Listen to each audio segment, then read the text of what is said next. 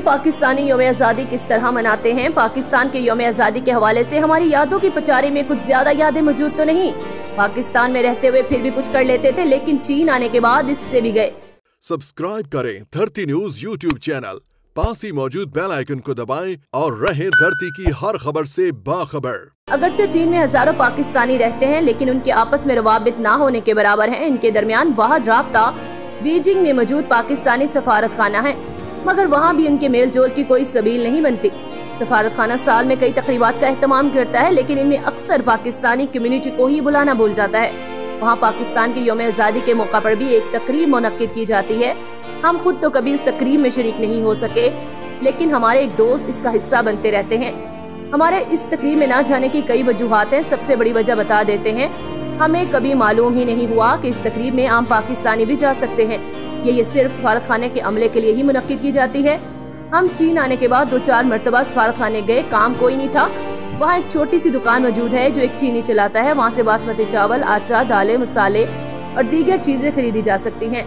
ये सारी अशिया ऑनलाइन भी दस्तियाब है, लेकिन चूँकि हमें इस वक्त ऑनलाइन खरीदारी नहीं आती थी तो हम वही जाकर अपने लिए महीने भर का सामान ले आते थे। पहली बार तो कुछ ना हुआ, लेकिन दूसरी मरतबा सफारत खाने के अमले ने कहा कि वो दुकान सिर्फ़ उनके लिए है और दिगर पाकिस्तानी वहाँ से खरीदारी नहीं कर सकते।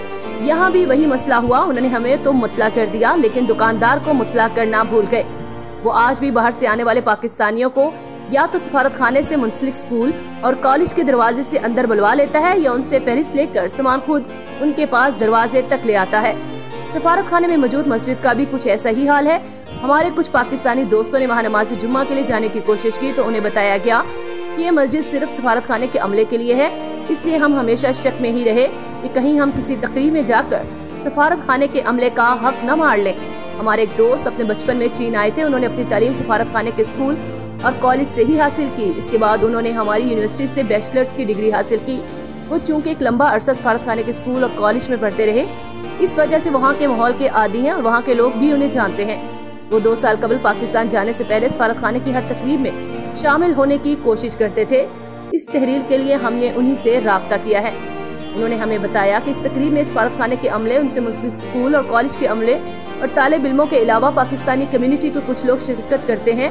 इस तकरीब में चीन में मौजूद हर पाकिस्तानी शिरकत करने का अहल है। लेकिन सफारत खाने का अमला उन्हें तकरीब की इतला ही नहीं होने देता। अगर कोई फिर भी आ जाए तो उसे दरवाजे पर ही एक दो बातें सुना दी जाती हैं। फिर भी कोई ढीठ बनकर अंदर चला जाए तो उसका तकरीब में टिकना उसकी डिटाई पर मुनहसर होता है।